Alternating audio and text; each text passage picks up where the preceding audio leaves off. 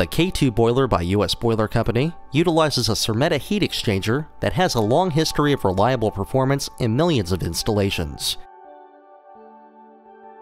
In following the water flow, cool water first enters and is preheated in the condensing water coils. The preheated water then passes through the primary water heating coils in the main combustion section, where it reaches its maximum preset temperature.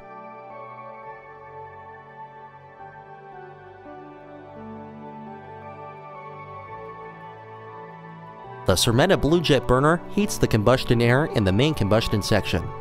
Note that the hot gases flow in the opposite direction of the water flow for maximum heat transfer.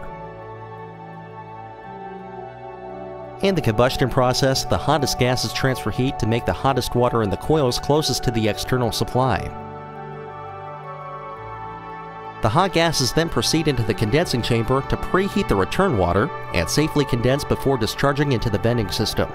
This combustion process maximizes system heat for high efficiency and energy savings.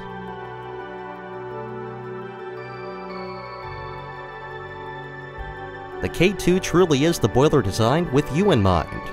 Only by US Boiler Company.